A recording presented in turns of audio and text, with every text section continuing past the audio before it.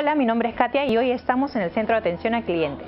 En este vídeo les vamos a informar cómo registrarse en el MySchneider, herramienta principal para que nuestros clientes directos puedan resolver sus consultas. El registro en MySchneider es sencillo y no es distinto del de otras páginas web que todos usamos a diario. Podemos empezar utilizando simplemente nuestra dirección de email.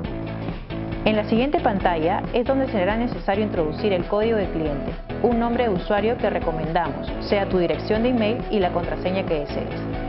Esta contraseña debe tener al menos 9 caracteres entre letras, números y caracteres especiales. Por ejemplo, vamos a poner 2017 Schneider. Si los datos son correctos, presionamos continuar y aceptamos los términos y condiciones. Código de cliente Schneider Electric Puedes encontrarlo en cualquier factura o pedido o pedírnoslo a través del teléfono o el chat. A continuación, simplemente debemos rellenar nuestros datos personales. En el siguiente, si nuestra empresa tiene diversos puntos de venta registrados, nos pedirá que indiquemos si deseamos tener acceso a información de estos otros puntos de venta.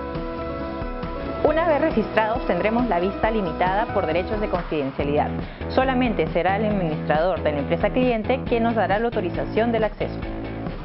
Volviendo a la pantalla de registro, es posible que al introducir nuestra dirección de correo electrónico nos salga este mensaje de error. Significa que esa dirección ya está registrada en alguna de las bases de datos de Schneider Electric y por lo tanto es necesario verificar que no se está haciendo uso fraudulento de ella por otra persona. Para hacerlo simplemente hay que poner la contraseña que utilizamos en el resto de aplicaciones. Si no sabes cuál es, debemos volver a la página de inicio y usar la opción olvidó su contraseña, indicando la dirección de email.